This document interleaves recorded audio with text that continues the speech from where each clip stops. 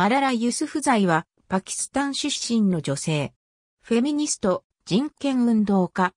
ユースフザイやユサフザイとも表記される。2014年、ノーベル平和賞受賞。1997年にパキスタン北部のカイバル・パクトゥンクワ州ミンゴラのスンニ派の家庭に生まれる。マララという名はパシュトゥーン人の英雄であるマイワンドのマラライにちなんで名付けられた。父親のジアウディン・ユスフザイは地元で女子学校の経営をしており、娘のマララは彼の影響を受けて学校に通っていた。彼女は数学が苦手だったが医者を目指していた。2007年に武装勢力パキスタンターリバーン運動が一家の住むスワート渓谷の行政を掌握すると恐怖政治を開始し、特に女性に対しては教育を受ける権利を奪っただけでなく、教育を受けようとしたり推進しようとする者の命を優先的に狙うような状況になった。2009年、11歳の時に TTP の支配下にあったスワート渓谷で恐怖に怯えながら生きる人々の惨状を BBC 放送の依頼で BBC のウルドゥ語のブログにペンネームで投稿してターリバーンによる女子校の破壊活動を批判、女性への教育の必要性や平和を訴える活動を続け、英国メディアから注目された。マララはイスラーム世界における初の女性政府首脳である元パキスタン首相ベーナズイール・ブットーに刺激を受けたと語っている。一方、アメリカのパキスタンに対する軍事干渉には批判的な見解を示し、2013年10月にアメリカのオバマ大統領と面会した際は無人機を使ったアメリカのテロ掃討作戦をやめるよう求めた。2009年、TTP がパキスタン軍の大規模な軍事作戦によってスワート渓谷から追放された後、パキスタン政府は彼女の本名を公表し、勇気ある少女として表彰した。その後、パキスタン政府主催の講演会にも出席し、女性の権利などについて語っていたが、これに激怒した TTP から命を狙われる存在となる。2012年10月9日、通っていた中学校から帰宅するため、スクールバスに乗っていたところを複数の男が銃撃。頭部と首に計2発の銃弾を受け、一緒にいた二人の女子生徒と共に負傷した。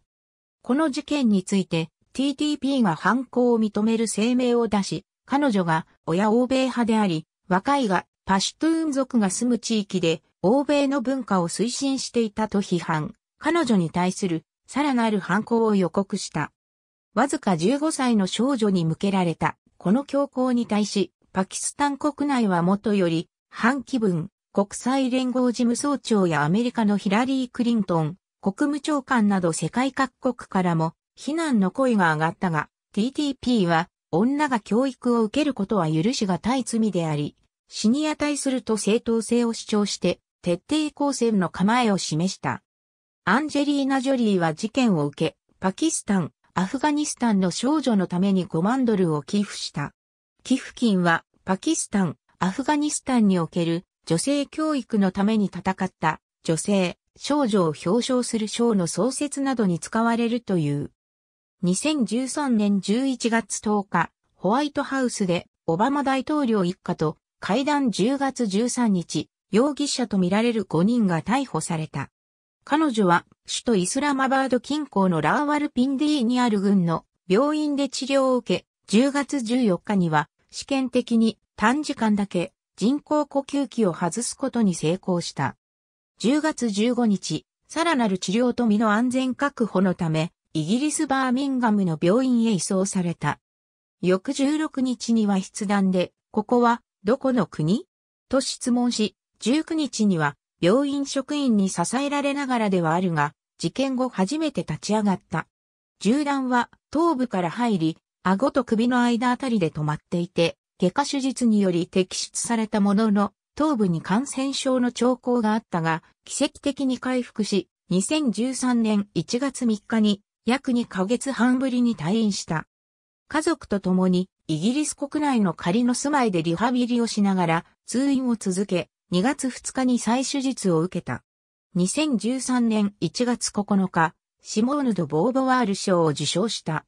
同年7月12日、国際連合本部で演説し、銃弾では自身の行動は止められないとして、教育の重要性を訴えた。国連はマララの誕生日である7月12日をマララデーと名付けた。また、同年10月10日にはサハロフ賞を受賞した。2013年、フランス・ストラスブールでのサハロフ賞受賞式にて2014年9月12日、パキスタン軍はマララ襲撃に参加したイスラーム過激派10人を逮捕したと発表した。ただし、パキスタンターリバーン運動から分離した過激派、ジャマトゥル・アハラールは、あの襲撃には3人が関与し、うち1人は殉死し、2人は生きているとして、軍の発表を否定している。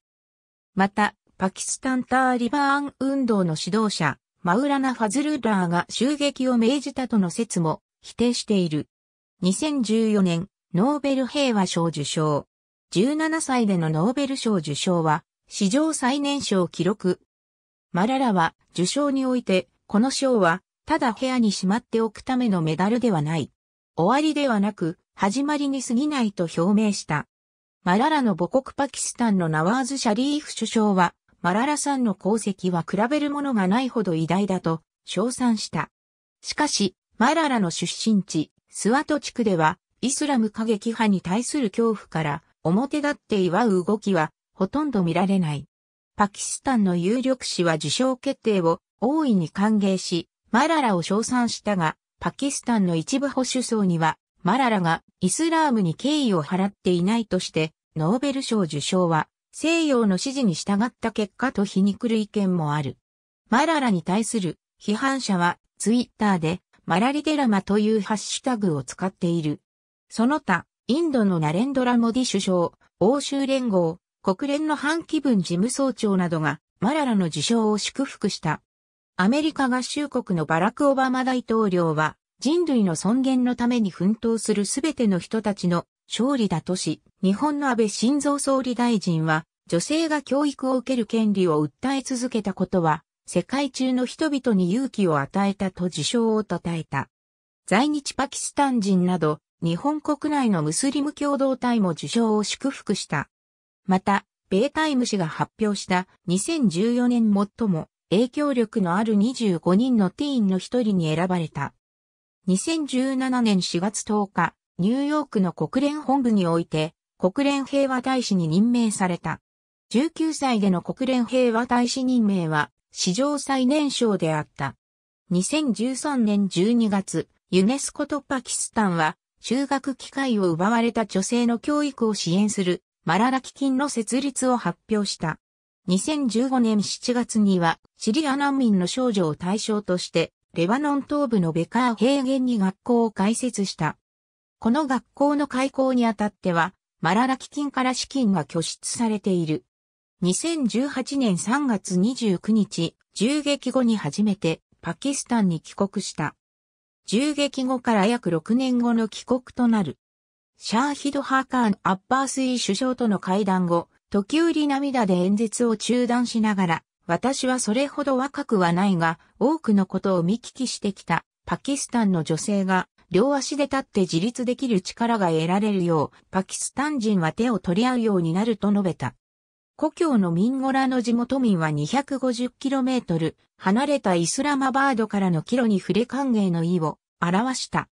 2019年3月22日、東京で行われる国際女性会議出席のため、初来日。2012年以降、スターバックスやオールマーとマイクロソフトの PR 活動を手掛けたことで知られるエドルマン社がスピーチ原稿の草案の作成に関わるなど、マララの PR 活動や支援活動に積極的に関与している。マララユス不在襲撃事件に関するカテゴリー。ありがとうございます。